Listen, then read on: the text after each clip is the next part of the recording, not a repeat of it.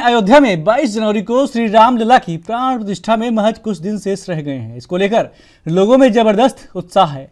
आज मंदिर प्रकोष्ठ के द्वारा दिल्ली बीजेपी के कार्यालय पंडित पंत मार्ग में एक बाइक रैली का आयोजन किया जा रहा है।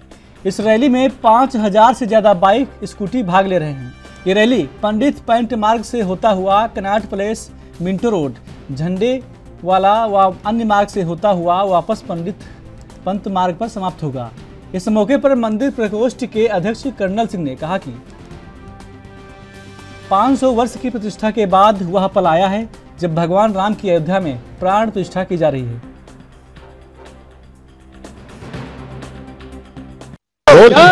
पूरी दिल्ली इस टाइम राम से मगन हो चुकी है और यहाँ पर जिस तरीके से लगातार बाइक रैली की बात करें या फिर मंदिर प्रकोष्ठ की बात करें, लगातार पूरी दिल्ली के अंदर कहीं ना कहीं उत्साह देखने को मिल रहा है। हमारे साथ दिल्ली कैसे मंदिर प्रकोष्ठ अध्यक्ष जो है वो मौजूद है, उनसे ही जानने की कोशिश करते हैं। वाक्यमय सच्चाई कितनी है? सर आपसे जानना चाहूँ, जिस तरीके से लगातार बाइक रैली की जा रही है, मंदिर को लेकर जिस तरीके से राम राम पूरी दिल्ली हो चुकी है, क्या लगता है आने वाले दिनों के अंदर और कितना उत्साह देखने को मिलेगा?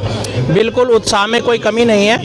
ये राम मंदिर, आपको पता है, भारत वर्ष में तो था ही विश्व में तो था ही अब तो चाँद पे भी शिव का झंडा लग गया और इससे ज़्यादा आपको क्या चाहिए? बोलो जय श्री राम। यहाँ पर बात करें जिस तरीके से रैली की जा रही है मंदिर प्रकोष्ठ के लिए लगातार कहीं ना कहीं भव्य उत्सव करे जा रहे हैं। क्या लगता है कि आने वाले दिनों के अंदर किस तरीके से और उत्साह देखने को मिलेगा? और दूसरा राम मंदिर का जब उद्घाटन होगा वो उत्साह किस तरीके से देखने को मिलेगा? दिवाली बनाई जाएगी या फिर कोई होली? दीपावली 22 तारीख को दीपावली विश्व की भूतों न भविष्य तो ये दीपावली तो मनाई जाएगी। इस मंदिर प्रकोष्ठ का और सनातन का काम है। पूरे विश्व में शांति हो। हर घर में दिया जले, हर घर में शांति हो।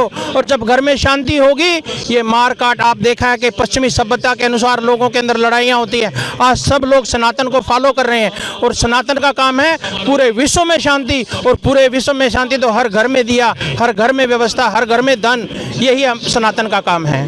तो कहीं ना कहीं हर तरीके से पूरी दिल्ली राम मगन हो चुकी है, मगर ये राम मगन और कितना उत्साह लेके आएगी लोगों के बीच में, ये ज़रूर देखना होगा। कैमरा पर्सन इरफान खान के साथ राजीव कुमार तिवारी एन न्यूज़ दिल्ली।